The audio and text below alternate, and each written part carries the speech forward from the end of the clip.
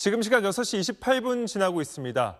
북한이 발사체를 쏜 지 91분 만에 우리 군이 서해에서 발사체 잔해 일부를 건져 올렸습니다. 군은 발사체 엔진과 정찰 위성을 찾기 위해 어청도 주변 바다를 수색하고 있습니다. 김태훈 국방전문 기자입니다.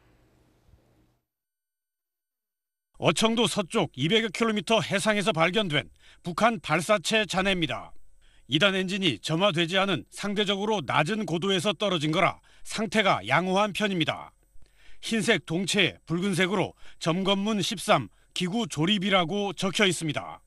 텅 빈 안쪽엔 전선과 부품들이 들어 있습니다. 북한이 발사체를 쏘기 전부터 서해에 배치됐던 이지스함이 잔해 낙하 위치를 특정하자 구조함 등이 즉각 이동해 떠 있는 상태의 잔해를 건진 겁니다.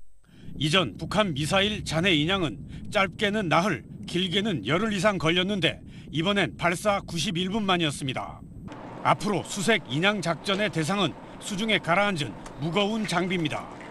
해군은 지난해 11월 동해 깊은 바다에서도 북한 미사일 잔해를 건져 올려 이번 서해 수중 인양도 자신하는 분위기입니다. 해당 수역 수심은 약 70m입니다. 군은 특히 북한의 신형 백두산 엔진을 조합한 것으로 추정되는 1단과 2단 엔진 그리고 정찰 위성 인양을 기대하고 있습니다. 1단도 새롭고 2단도 새롭고 위성도 새롭고 다 이번에 새로 개발되는 것들이기 때문에 북한의 어떤 기술적인 그 진보 상황, 능력, 그다음에 앞으로 전망 같은 것들도 다 할 수가 있는 거죠. 잔해들은 인양되는 대로 국방과학연구소로 옮겨 정밀 분석할 계획입니다.